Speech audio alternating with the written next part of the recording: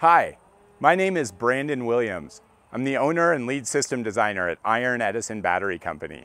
In this video, we're gonna run through a quick introduction of all the different components that make up a solar and battery system. At Iron Edison, we love helping people learn about this technology. If you have any questions about solar or battery systems, please give us a call or reach out, check out our website, let us know how we can help. Let's go ahead and take a look at all these different components that make up a solar and battery system.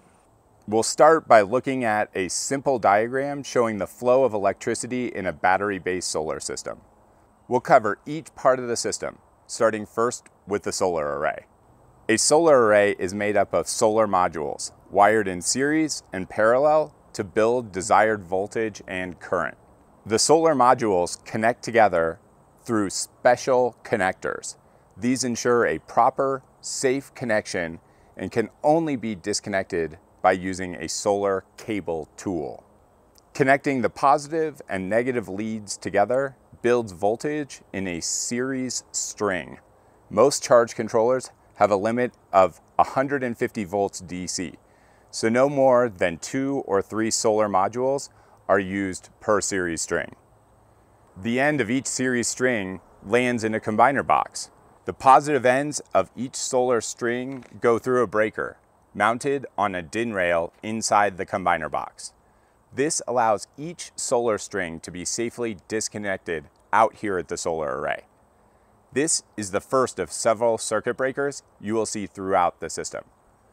In most solar energy systems, you'll find circuit breakers or a disconnecting means at both ends of the wires that connect from the solar array back into the power panel. Just like its name sounds, the combiner box also serves as the site where each solar string is combined into one circuit, known as the PV output circuit. Each string of solar panels is put into parallel on a bus bar inside this combiner box. By wiring in parallel, we're building the amperage on this PV output circuit. The next stop, inside with the charge controller. As the positive from the solar array feeds into the power panel, it passes through uh, an input circuit breaker that protects the input of each charge controller. And then once the charge controller does its work of taking the high voltage input and stepping it down to a lower battery voltage, that power will go through another circuit breaker called the charge controller output circuit breaker.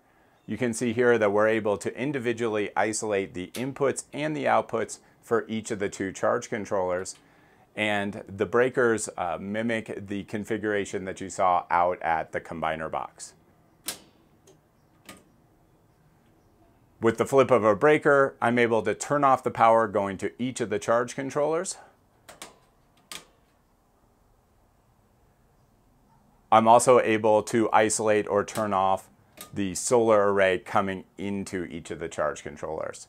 This will allow me to safely set up and program each of the charge controllers without the energy coming in from the solar array. These digital maximum power point tracking charge controllers are able to take the low amperage, high voltage power coming from the solar array and very efficiently step it down to a low voltage, high amperage output that's ideal for battery charging. This particular system has two charge controllers.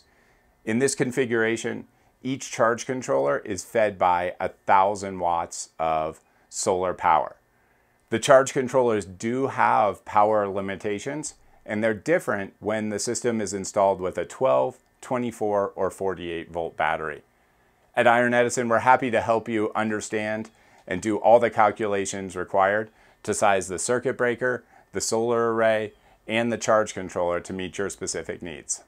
Also housed within the power panel is the inverter's DC disconnect. This will allow me to turn on and off the inverter, which is the main piece of equipment that takes the direct current or DC from the solar and battery system and inverts that direct current into alternating current or AC. And this is what our standard household appliances use for everyday power the inverter can be programmed to automatically draw power from the grid when the battery gets low.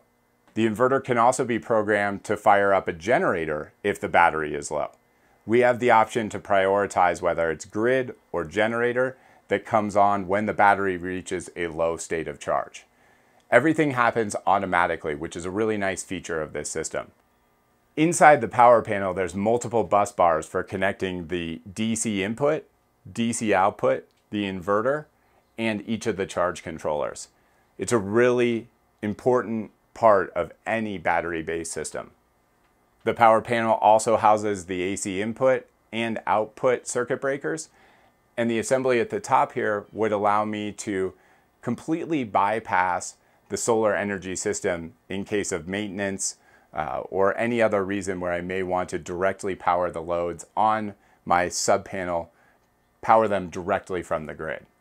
Last, but certainly not least, we have the battery, which is the heart of any off-grid system. The battery stores extra solar energy and also powers the inverter. The battery needs to be reliable, durable, and long-lasting. There is no battery that embodies these traits more than nickel iron. Invented by Thomas Edison, a nickel iron battery will last 30 plus years with daily use and pairs great with solar.